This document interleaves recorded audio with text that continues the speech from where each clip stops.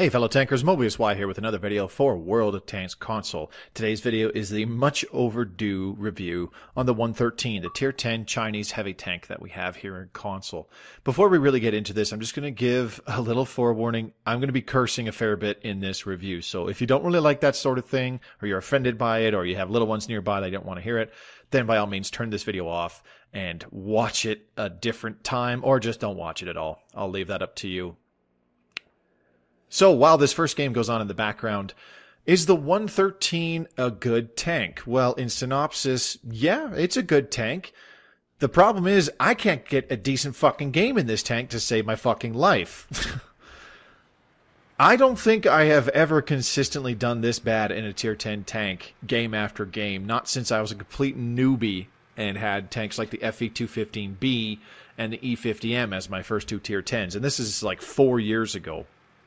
I just I cannot play well in this tank. Um, so is that is that a fault of the tank? Absolutely not. It's definitely user error. I just suck in the damn thing. Well, to be fair, I just suck at the game anyways. So there's that too. But um, the 113 in general, it's a good tank. It's very flexible. Uh, this really good mobility that it has, which is really its major saving grace.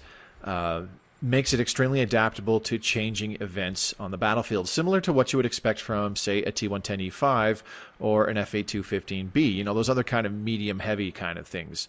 Uh, even something like an IS-7 wouldn't be as good at it because an IS-7 has really crappy ground resistances, so it's actually not as mobile as you might think. And it's definitely a lot more adaptable than the super heavies like the E100, the Type 5 heavy, and the Panzer 7 and the Mouse because they're just so bloody slow.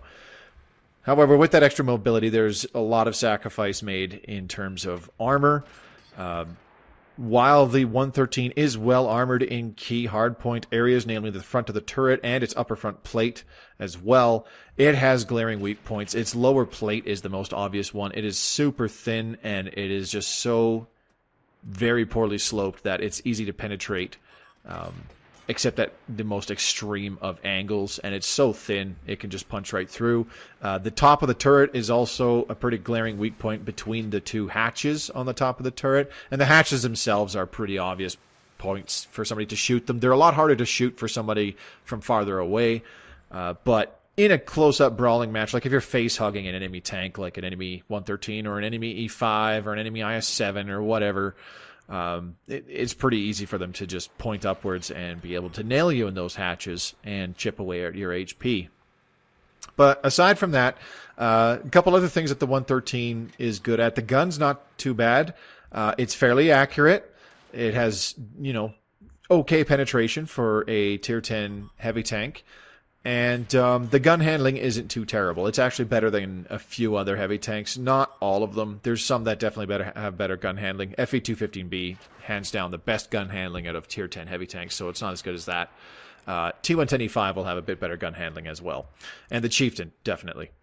Uh, but other things, the IS-7, uh, the German heavies, and um, what's the other one? It, it's more on par to, I would say, on par to an IS-4 uh, where the dispersion might not be that great while moving, uh, but the aim time isn't so terrible and the total accuracy isn't so terrible as to completely make the gun complete trash. So, all these combine together to actually make a pretty well rounded machine that players who are good and are good with the tank um, can they could really make it shine for themselves. Um, one of the big advantages that the 113 has is it has a 440 alpha gun, so it can outtrade with a few other heavy tanks, namely the T110E5, the FV215B, the Chieftain. You know, tanks that only do a, the, the the other heavy tanks that only do 400 alpha damage every shot.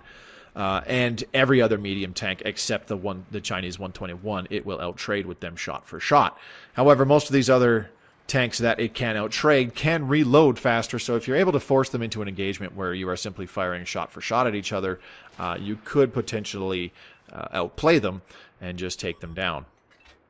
But um, such it's it's a little trickier to do because, as I said, the weak points on this tank they're they're very obvious. People will just shoot them uh, without without abandon.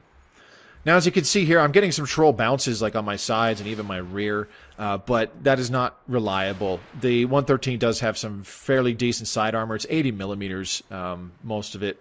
So you do get some troll bounces, but it is far from reliable. So this is kind of what it's like in a, in a game with the 113 for me. I only got seven penetrations, six penetrations, sorry, for 2600 damage. No tanks destroyed. This is actually a better game uh, in the 113 that I would play. Honestly, the the total average for me is getting maybe a whopping four or five penetrations, so that I can wrap up, so that I can rack up, uh, you know, possibly 1600 damage or something like that. There's been several games where I only get three penetrations. I've dropped goose eggs in this tank. Um, it just does not seem to click with me whatsoever. Um, it's it. I mean, it's it's still a decent tank, but it's clearly it's clearly just not for me. Uh, so if you're looking for something that is pretty mobile, is low profile, that has a fairly good camera, it's it's basically a heavy medium. Uh, it has a medium tank's kind of camouflage, sort of because it's such a small sort of heavy tank, and it's fairly mobile. You'll keep up with slower medium tanks, like for example the, the Motherland. I know it's not the best comparison because the Motherland's tier eight, uh, but it's about as mobile as a, as a Motherland, and the Motherland's a medium tank. So other slower medium tanks like that, the 113 has no problem keeping pace with them. Uh, it's it's very quick and that's one of the big things that I liked about it. So first things first, let's take a look at the in-garage hard stats of the 113 looking at a few different aspects here. So the package itself, you get an engine that gives you 750 horsepower. This is partially why the 113 is so quick. Uh, you get quite a bit of horsepower, and the tank itself isn't terribly heavy. I think it's only about 50 tons. Uh, somewhere between 40, 45 and 50 tons, if I recall right. Um, tanks.gg is down right now, so I wasn't able to check the ex- exact value. Um, so that's part of the reason why it boots around quite a bit. It will struggle going uphill. Your speed will drop significantly, going maybe 20 kilometers at best. Uh, very often, even on slight inclines going uphill. So that is a bit of an issue with the 113, but on favorable to terrain, even just like a slight uphill slope, a very gradual one, you can go at least 30 kilometers an hour. And on flat terrain or even downhill or uh, hard terrain like like uh, concrete and asphalt and stuff like that, uh, you can easily kick it up to 40, 45 kilometers an hour uh, very, very easily. There's the rare chance where you'll see it get to the max speed of 50 kilometers an hour. You pretty much have to be going downhill for that. Uh, now, for the gun of the 113, uh, this is actually a pretty solid gun. I don't think it's as good as the gun on, say, the T10 or the IS4 or the fully upgraded ST ST1 or STI, uh, but it's still pretty solid. 5.5 rounds per minute with a gun rammer and vents for equipment and brothers in arms for a crew skill. I had that reload all the way down to exactly nine seconds, so it reloads decently well. You'll still have some tanks at tier 10, heavy tanks in particular, that reload just a second or two faster, like the 215B and the E5, but as I said several times, you will outtrade them uh, shot for shot. The penetration is 349 for the sorry 249. Reading is hard for the standard AP rounds. Uh, that's kind of on the low side for a tier 10 heavy tank, but I mean it's more than enough to hit the same usual weak points that you would uh, with just about any tier 10 tank that isn't a tank destroyer. 340 penetration with the heat round. That's a really good heat round. Uh, not amazing, but I mean that, that's pretty that's pretty solid. That is extremely respectable. A lot of heat rounds have about that much penetration, and you have 68 penetration with the HE rounds. Pretty good uh, HE penetration, to be totally honest. The alpha damage for the AP and heat rounds is 440. As I said, more than a 215B, E5, or Chieftain, or any of those other tanks that only do 400 damage. Uh, more than any medium tank except the 121 at tier 10 uh, shot for shot. Uh, HE damage is averaging at 530, so it can be worth it to load up an HE round for very softly armored targets, uh, namely paper thin TDs, especially waffles, and sometimes artillery. Uh, basic gun handling, the aiming time is 2.7. That's better than a few heavy tanks that have 2.9 or worse aim time uh, but not as good as the fairly average 2.29 that you see on a, on a lot of tanks in the higher tiers. And the accuracy is 0.36. That's actually pretty spot on, uh, middle of the road uh, average for overall accuracy when fully aimed in. Now, for a heavy tank, not only is this tank quick, but it's pretty maneuverable. The track traverse speed is 36 degrees per second, and that can be improved with clutch braking uh, to make this thing help maneuver around the battlefield a lot better. Uh, the turret traverse speed is 26 degrees per second, which is actually quite a bit lower than the track traverse speed. It's almost 30% slower than the track traverse of the tank. Nevertheless, if you are turning them both in the same direction, uh, you can bring a gun around on your target very quickly. And the basic rating for the turret armor, in the front it's rated at 290, but that's in a select location. We'll take a look at that a little bit later. And on the sides it's 180, and in the rear it's 80. So sporting some very good frontal turret armor here. Uh, the total view range is, of course, 400 meters, very, very normal for tier 10 tanks. And the signal range, which doesn't really matter, 750 meters, very, very normal for tier 10 tanks to have high signal range such as that. So let's move on to things like equipment and supplies and crew skills that I had when I was playing the 113 to make it not work for me.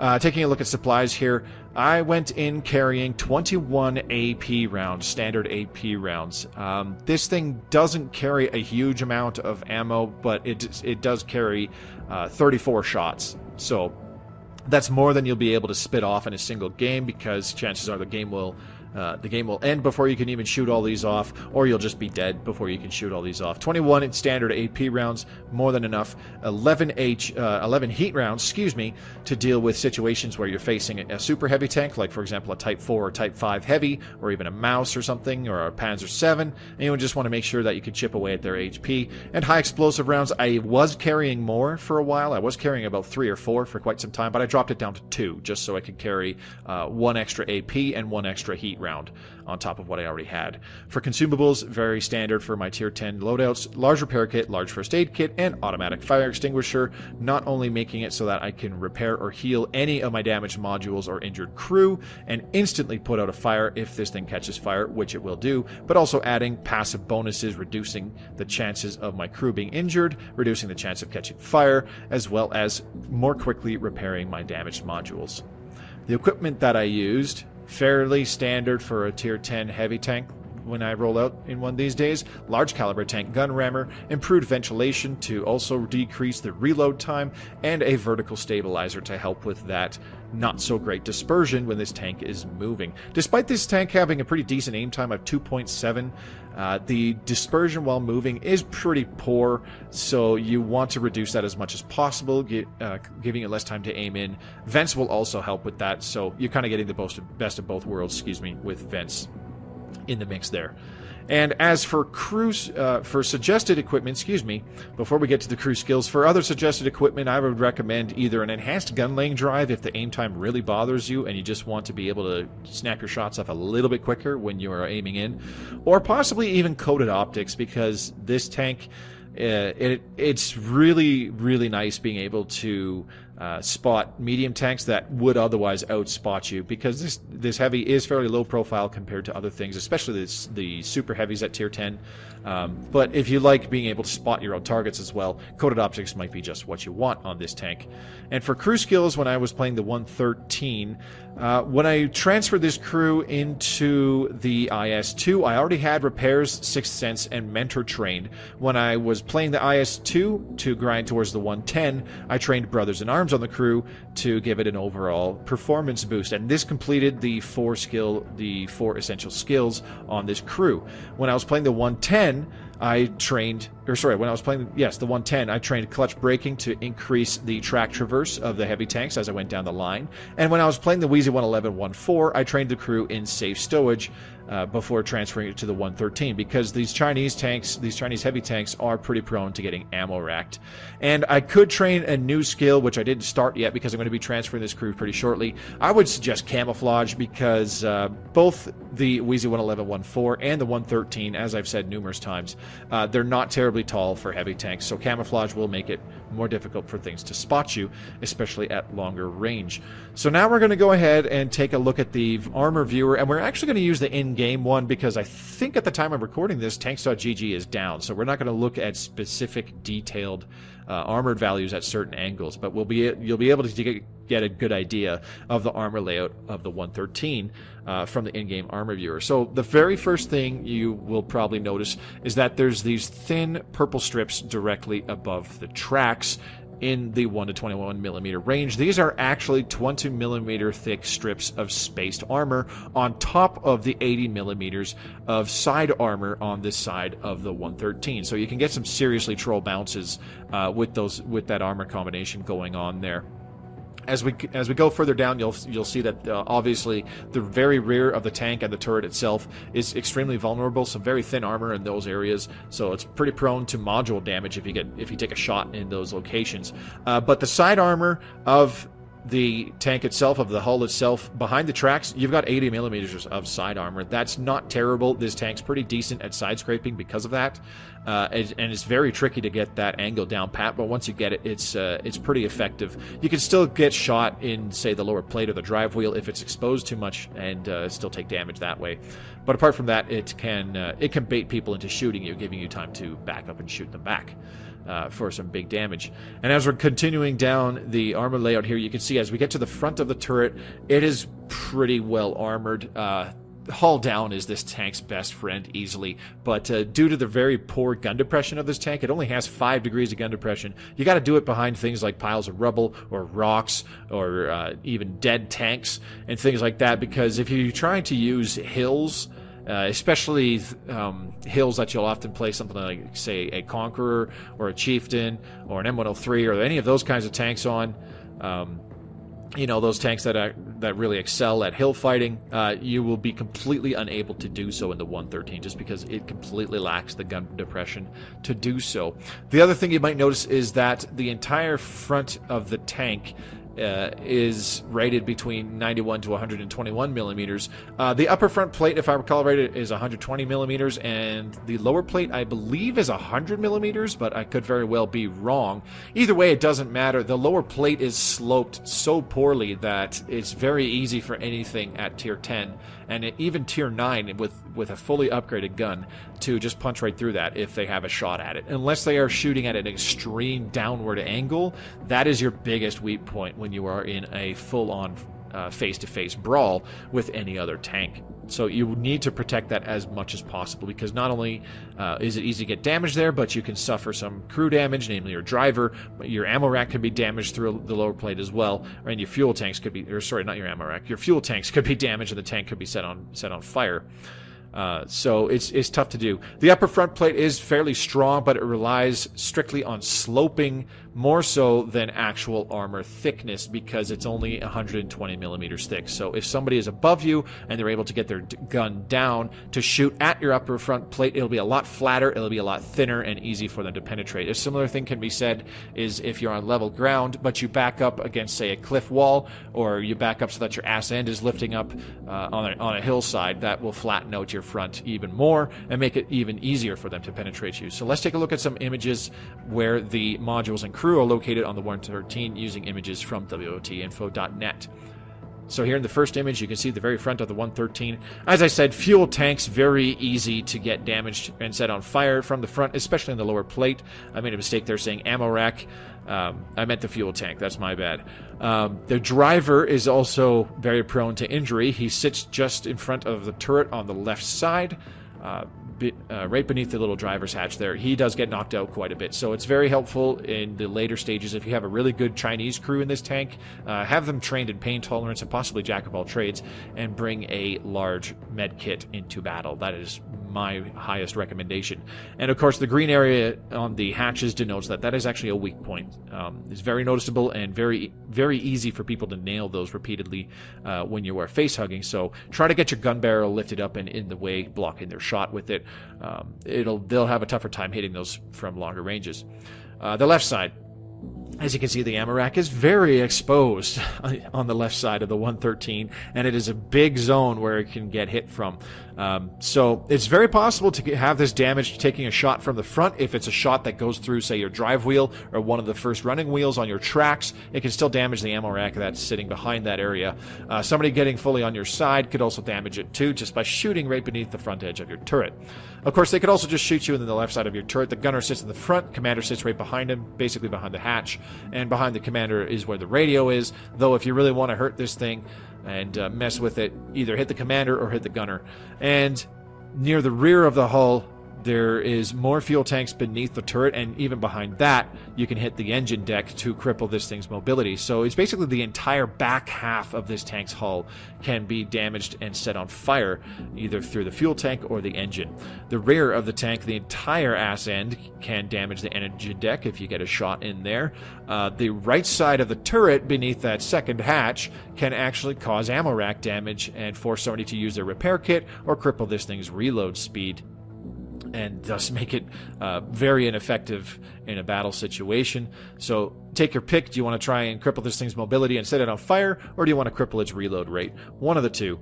And then on the right side, again, you have lots of ammo rack on the right side of the hull beneath the front of the turret damageable even from the front with a shot through the tracks area. Uh, more ammo rack on the right side of the turret, and the loader sits right in front of that ammo rack area there too. So if you get uh, a shot into the right side of this tank's turret, there's a very good possibility that you'll either damage their ammo rack or injure the loader and just cripple this thing's reload speed. Uh, same with on the left side, you've got fuel tank and engine deck covering pretty much the entire back half of this thing's hull, making it very prone to fire chance uh, from shots going into its ass end. So, you, to sum it up, you just need to try and keep your front towards as many guns as possible, to so that you can get some troll bounces, or possibly even force people to shoot you in your upper front plate or the face of your turret, as opposed to hitting you in those very vulnerable modules. So that's that sums it up for a detailed look. We'll take a look at the second game here on Steeps. Um, again, this this tank like I, I don't really I can't really wrap my head around it. This tank isn't a bad tank by any stretch of the imagination. Uh, it's it's versatile in the fact that you know it's it's mobile, it's maneuverable. The gun it has isn't complete shit, and um, you know it can it could spot it could semi scout for itself or other people. Uh, especially if you mounted something like coated optics, or if you just had a higher trained crew and you had things like uh, recon and situational awareness and camouflage and all that jazz trained. Uh, but would I recommend this tank for everybody? Absolutely not.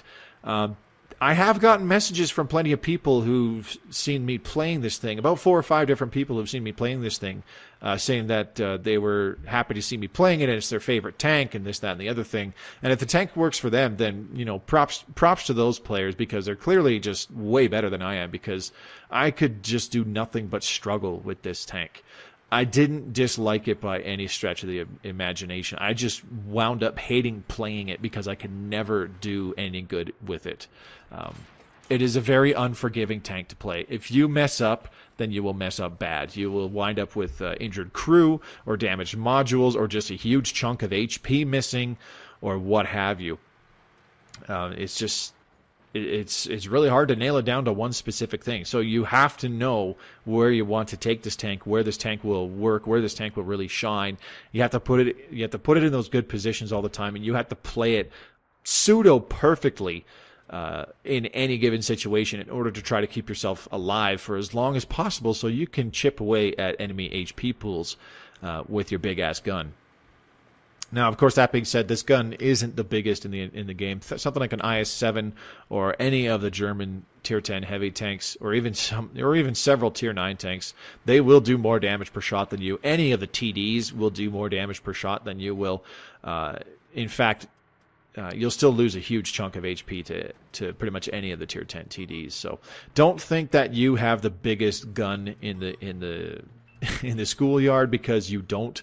Uh, it's just you you are better at trading than many other tanks at similar tier, especially any of the any of the medium tanks, because um, the only other medium tank that does the same amount of damage as this thing right now is the 121 because it sports um, not the same gun but a, a different variant of of a 122 millimeter gun. So apart from that, you will outtrade any other medium tank. So keep that in mind if you find yourself uh, get squaring off in a one-on-one against certain medium tanks.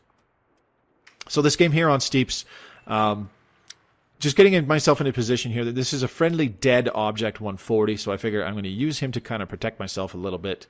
Uh, getting a, a nice bounce off the front from the chieftain down below. He's got an Emil 2 with him there, trying to get a shot off at the top of the chieftain's turret. No go there, unfortunately.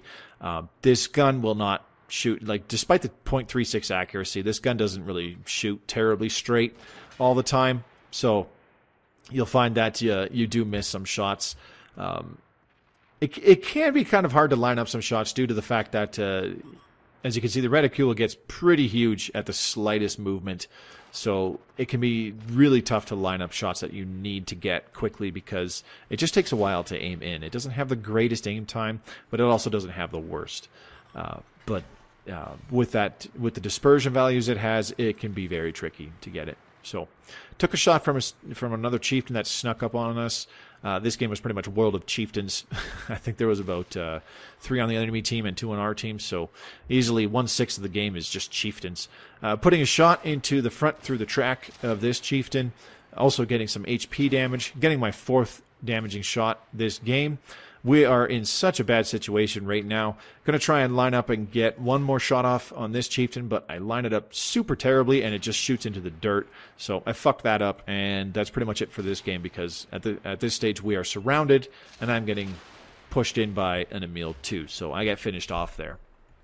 And uh, so I finished off that game with four penetrations and 1672 total damage done. This has honestly been the the norm for me while playing this tank and um, I'm pretty sure it's just a me thing because it's definitely it's definitely not the tank. Like it, every tank in this game uh, can do good if played well, and I just can't seem to play it well. So, uh, pretty much, if if I haven't done it by the time that this video is public. Um, then I'm doing it right when this video goes up. I'm going to be selling this tank and going back to the Wheezy 111 Model 1.4 at tier 9. Now, when doing the Chinese tech tree, um, if you can't decide between doing the heavies or the mediums first, go down the heavy line first. I cannot stress this enough. The top gun of the 113 is the 122 millimeter 60-122T. That is the module name for the gun that is used on the 113 Tier 10 heavy tank. And this is the exact same gun that you get on the final package of the Wheezy 120. So that will make this final package upgrade on the Tier 9 Wheezy 120 medium tank completely free of charge XP wise. And by doing the heavy line first, you also get several engine upgrades and other gun upgrades that will just make doing the entire medium line so much easier. They will make it much less of a grind. If you do the medium tank line first and you have done pretty much no Chinese tanks previously, even light tanks, which have similar engine upgrades to some of the medium tanks, the Wheezy 120 will be an absolute fucking nightmare for you because these final three packages uh, on the the final three packages on the Wheezy 120 cost anywhere between 40 to 60,000 XP to unlock each, and that's before you even get fully upgraded. So that should sum it up for the review on the 113. As I tried to summarize at the very beginning of this video, is the tank good? Yeah, it, of course it's good. It, every tank in this game can be good, except for maybe the Challenger.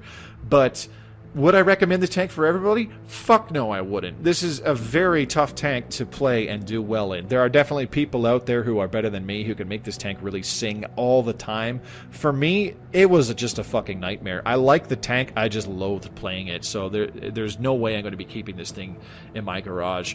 Uh, at the very least, if you do wish to go down the Chinese heavy tank line, if you if their um, if their playstyle interests you, or you or you just want to try them out for yourself, at the very least, get the Wheezy 111 Model 1.4 fully upgraded because that tank is not only a monster, but when we get the next Tier 10 Chinese heavy tank, the Wheezy 111 5A, it will branch off the Wheezy 111 Model 1.4, and that will probably be a better heavy tank all around uh, for any player than the 113. That, so that's just my recommendation. Uh, get the 113 if you if you want to give it a shot and see if it works for you. So that should sum it up for today's tank review. I hope you found it informative and helpful. If you enjoyed the video, please give it a thumbs up and be sure to subscribe to the channel if you would like to see more World of Tanks console content. I try to upload a new video every Friday. And don't forget to click the notification bell icon to let you know when I have uploaded a new video every time. This has been Mobius Y for World of Tanks console. Thank you very much for watching, and I'll see you on the battlefield. Happy tanking!